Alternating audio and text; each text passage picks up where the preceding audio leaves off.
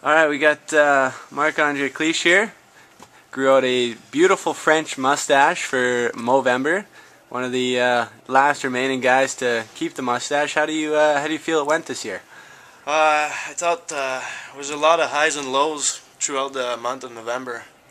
Uh, mostly highs, of course. of course. Yeah, uh, I learned a lot of things about myself and the mustache. Um, at the beginning, I'll be honest, I took it really uh, on the negative side, but uh, as the month went through, I think uh, I started like loving the mustache actually, and uh, I think uh, today is going to be pretty emotional to um, shave it off. so you you will be upset when you shave it off? I think uh, it's going to be probably the worst part uh, of my day today.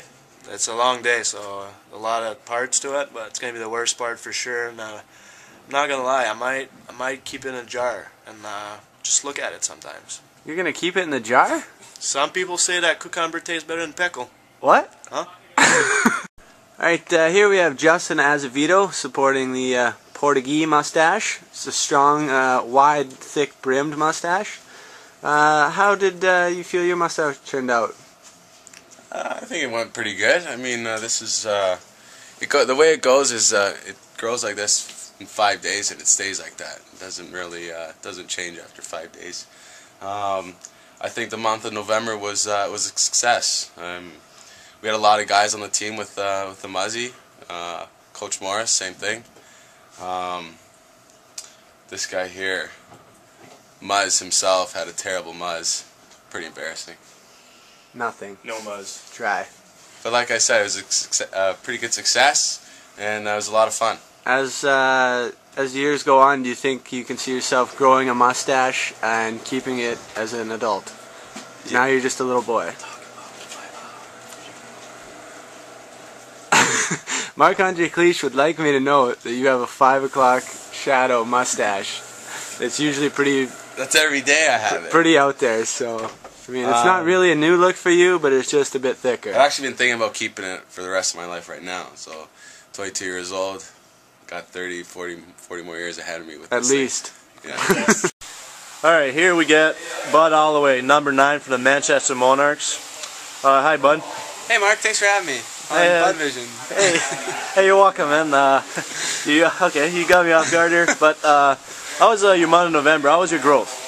Uh, growth was good, strong. Uh, had to trim a couple times. Was interfering with my food eating. Oh, let's uh, let's see. Let's see the trim. Pretty good. Pretty good. So, but uh, no, I had pretty good growth. Uh, had to get a little just for men in there. I, Oh, I mean, so- I don't want to give away my secret, but uh, you know, it's uh, something people need to know. Well, I think it's a normal thing. You know, you, you want the mustache to be out there. I think it's good. Um, do you think you're uh, actually gonna keep it for uh, the rest of your life? Uh, I don't know if it suits me real well, uh, especially when I have an afro. Uh, I may have let myself go a bit uh, this month of November, but uh, no, it was a good cause, and uh, I know me, you, Azzy, and all the all the boys that did it, Cluner, Hickey. There's a, you know there's a pile of them. Uh, did it for a good cause, like uh, yeah, Soupy and JJ, DK for a bit until his girlfriend made him shave it off.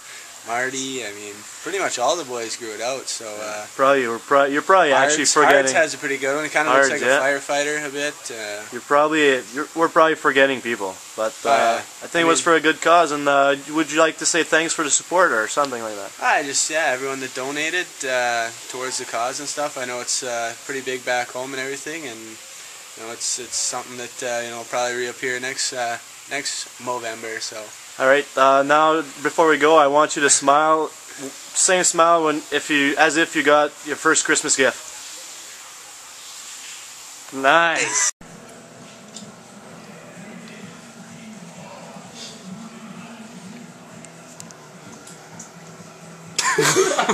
We'd like to thank everybody that participated this year in uh, November. Um, looking forward to seeing everybody next year again. Remember to get your prostate checked. One love.